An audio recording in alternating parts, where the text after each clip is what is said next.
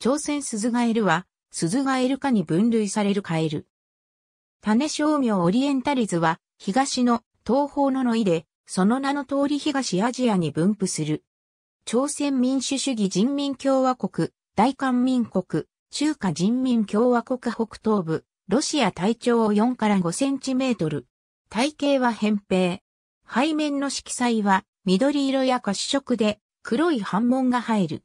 覆面の色彩は赤く黒い不規則な斑紋が入る。皮膚からは刺激性が強い毒物を分泌し、本種を触れた手で目をすると激しい痛みが生じる。平地から山地にかけての渓流や地小等に生息する。半水生で水辺や水中で主に生活するが、水から離れた場所で見つかることもある。オスの鳴き声が鈴の音のように聞こえることが和名や英名の由来。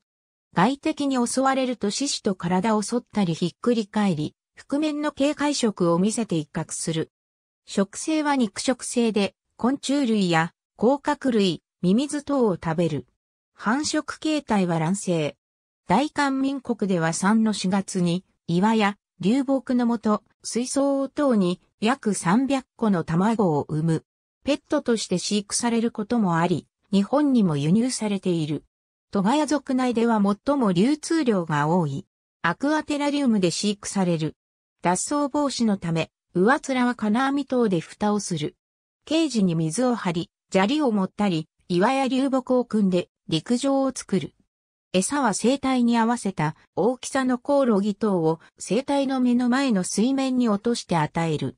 複数のペアを飼育すれば、飼育下での繁殖も難しくはない。本種に限ったことではないが皮膚から刺激性の強い毒物を分泌するため、素手で直接触れることは避ける。もし素手で触れてしまった場合は、すぐに手を洗うようにする。ありがとうございます。